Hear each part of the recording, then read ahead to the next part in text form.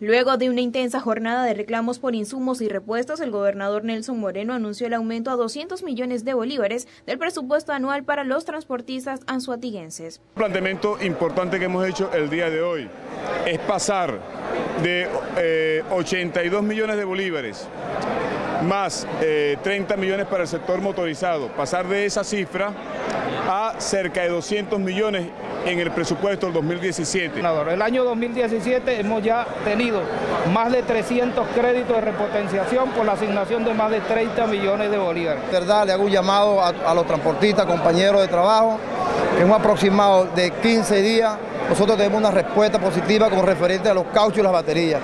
Durante un mes también para volver a repotenciar los vehículos, cual hace bastante falta. Según indicó Moreno, en los próximos días se crearán nuevas mesas de trabajo para detallar cada uno de los problemas y plantear las posibles soluciones para el gremio de transporte público. Desde Anzuategui, Marianela Maurera, Noti Minuto.